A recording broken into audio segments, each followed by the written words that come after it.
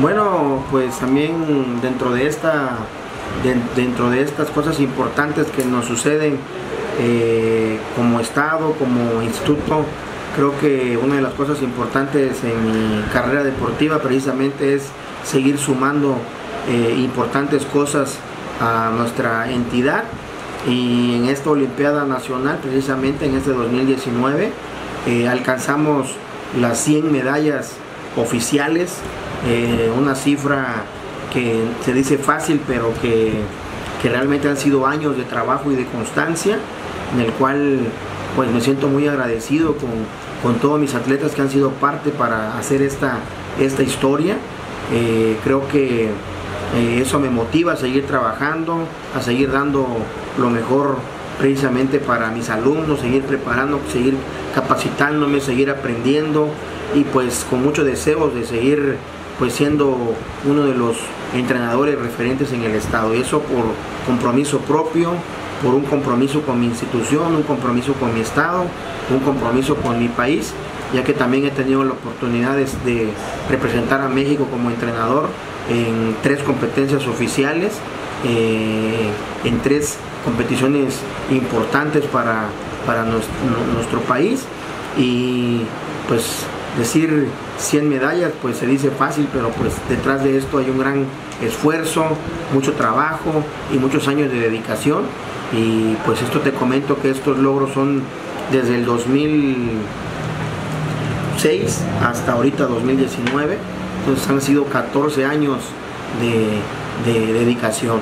Entonces estamos muy contentos celebrando además del éxito de nuestra institución, pues este resultado también importante para, para mí como, como entrenador. Eh, tú muy bien lo dices, son 47 medallas que, tengo en la Olimpiada Nacional, una cifra importante, considerable. Eh, año con año no hemos dejado de aportar desde el 2006 a la fecha una medalla en Olimpiada Nacional. Estoy muy,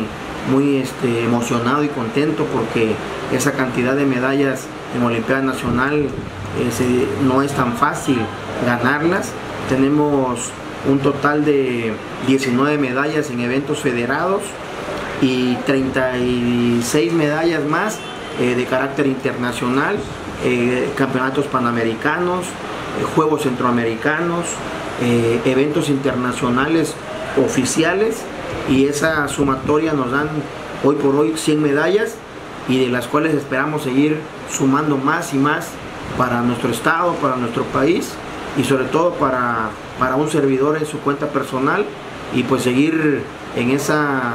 en esa búsqueda de, seguir haciendo historia para, para Chiapas y para México. Efectivamente viene un próximo campeonato panamericano en, Portland, viene el Open de Canadá,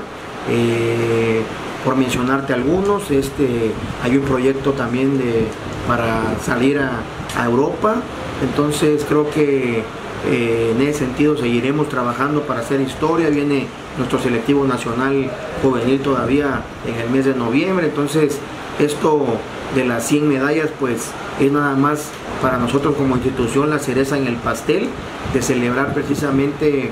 eh, un éxito más. Y creo que eh, esto pues hay, hay para rato, un servidor tiene el deseo y las ganas de seguir estando en el área con, más atletas, seguir formando nuevos campeones, entonces esto pues todavía no se acaba,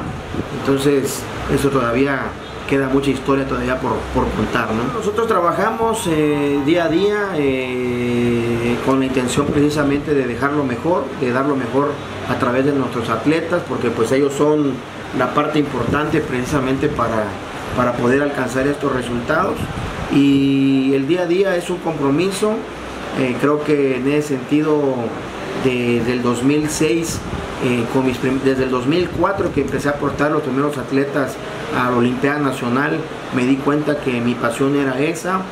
y también me di cuenta que, en mis manos estaba la posibilidad de ir eh, haciendo historia a través de, los atletas y no quité el dedo del renglón. Eh, he tenido los mejores momentos de mi vida, los he tenido a través de, del taekwondo y ver en lo más alto a mis atletas, pues de otra manera es la gran satisfacción. Y como consecuencia de, pues hoy, hoy por hoy estoy celebrando estas 100 medallas, pero pues todo ha sido consecuencia de, ha sido eh, trabajo de todos, trabajo en equipo. Y como te vuelvo a repetir, todo me ha llevado a esto, ha sido una cosa que, no lo he buscado, no lo he ido a buscar, sino que se ha ido dando solo y después de 14 años pues eh, considero que, que somos pocos entrenadores en el país que podamos tener esa cantidad de medallas eh, a nivel nacional. Entonces, creo que de mi parte, pues eso me motiva a seguir trabajando fuerte. Eh, uno de mis de, esos logros importantes fue mi hija, mi hija Indira, que fue mi primera atleta medallista, eh, una atleta que en el momento crucial para, para Chiapas estuvo ahí, fue tres años medallista de la Olimpiada Nacional ella te puedo decir que es mi, máximo eh, exponente porque en esos momentos pues era difícil ganar una medalla en la Olimpiada Nacional. Posterior a eso lo, hizo Daniela Guillén, un atleta constante, un atleta que, dejó todo en el tatami mientras compitió, así como ella, eh, Sofía Velázquez, que también se consolidó como una de las, de las mejores, Sofía de León, mi hija también eh, siendo preseleccionada nacional, ganando el selectivo más fuerte que ha habido en el Taekwondo Nacional, que fue el selectivo en Veracruz, donde ella se coronó junto a Daniela, junto a Sofía Velázquez y junto a, a Daniela se consolidaron como campeonas nacionales de esa, de esa competencia.